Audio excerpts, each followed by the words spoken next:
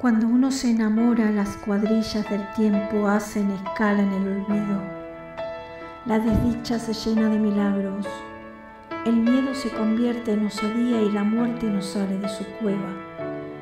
Enamorarse es un presagio gratis, una ventana abierta al árbol nuevo, una proeza de los sentimientos, una bonanza casi insoportable y un ejercicio contra el infortunio por el contrario, desenamorarse es ver el cuerpo como es y no como la otra mirada lo inventaba. Es regresar más pobre al viejo enigma y dar con la tristeza en el espejo.